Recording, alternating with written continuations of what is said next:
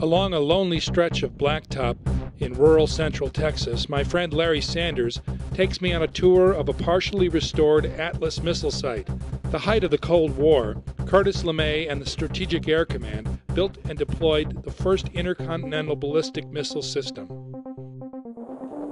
We're standing atop an Atlas F ICBM launch facility. And, uh, this facility was built in 1961 at a cost of between 18 and 22 million dollars.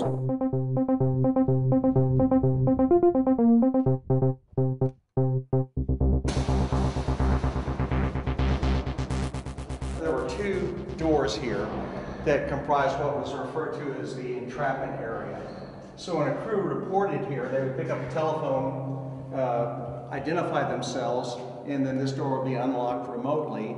They'd step through this door, lock it behind them, and they'd be entrapped between two locked doors.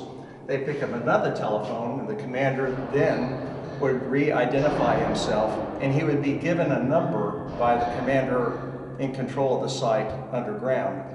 And he had to add to the number he was given another number to equal the number of the day that only the two commanders were aware of. And that's how they knew that it was a proper authorized visit by the, the new crew. Hang up the phone and the other door would be unlocked and that would give them admission into the launch control area. Then they would encounter two closed one-ton manganese blast doors. And these doors were designed in such a way that only one door could be open at a time and that guaranteed that the crew would never be exposed to any explosion or threat externally. Manganese was used because it has a higher melting temperature than regular steel. But uh, for two-ton doors, for two one-ton doors rather, they still have total mobility and it's remarkable how smooth these doors operate even after all the years that have been exposed to uh, a rather high humidity environment. But, uh, that's, that's a one-ton door on swinging there, and it's just remarkably well balanced.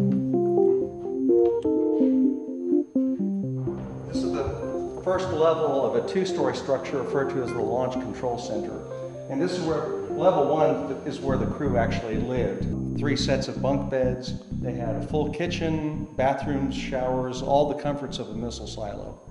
And uh, this is where they would uh, stay basically for their 24 hour shift.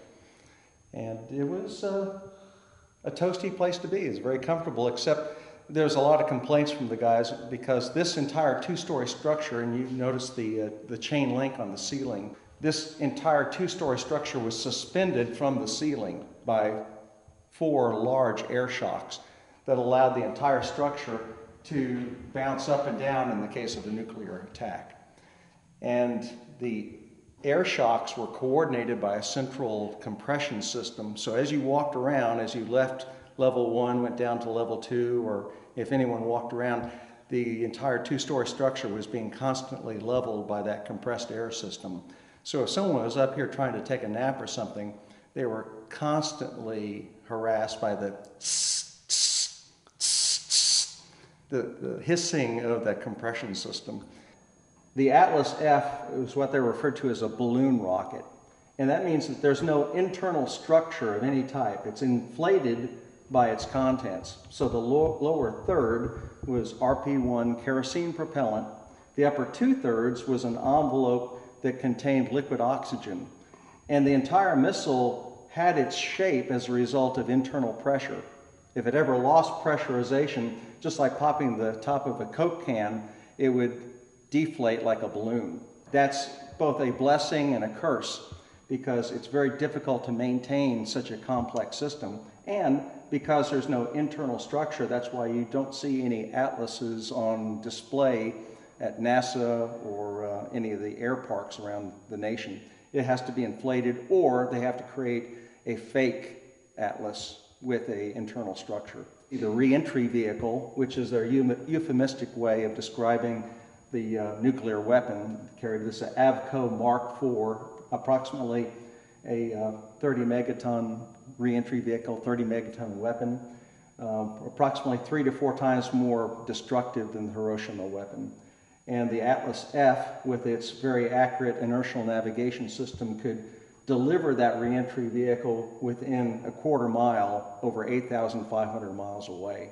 So from any of the launch sites in continental United States, it could reach any strategic point in the, So- in the Soviet Union, which made it a very, very frightening weapon for the early 60s. And that's why it's a totally successful weapon system, and it was never challenged by the Soviet Union, obviously. And though we say that, well, we never used it, we spent all that money, remember it's a deterrent weapon. So the ultimate failure of a deterrent weapon would be its utility. In the event of a nuclear attack, obviously the crew did not have a desire to be buried alive in this structure.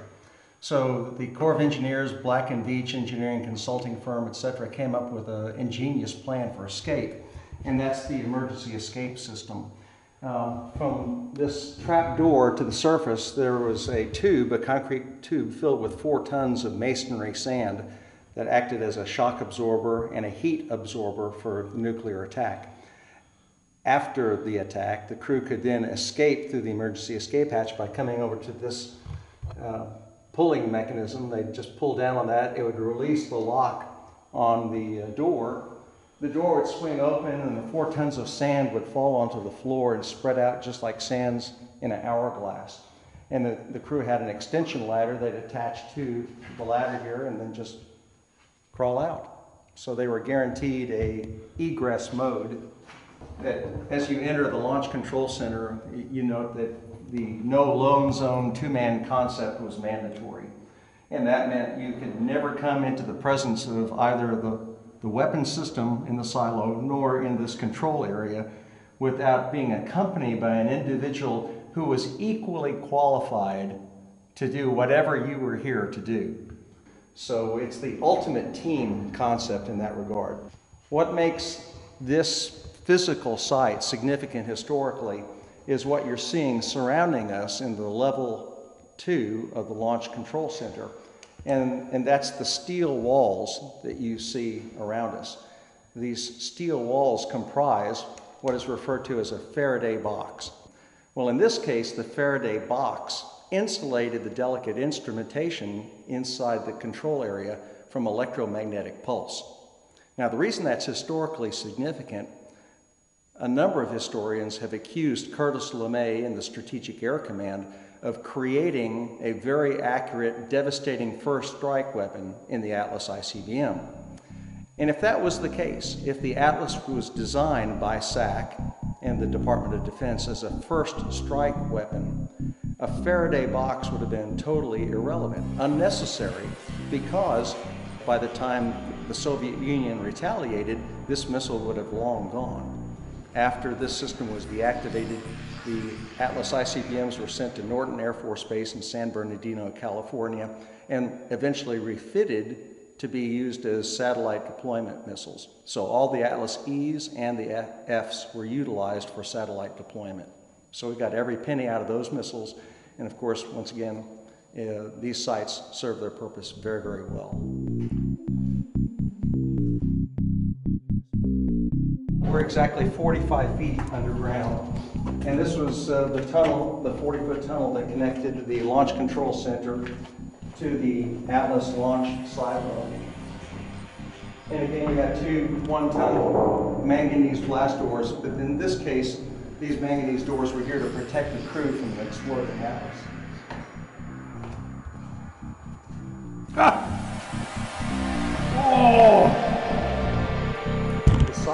52 feet across, and from the super hardened doors at the top to the bottom of the silo is 18 and a half stories, or 185 feet. The walls from level two to the surface are nine feet thick. And I used to describe those walls as reinforced concrete, and that's really a misnomer.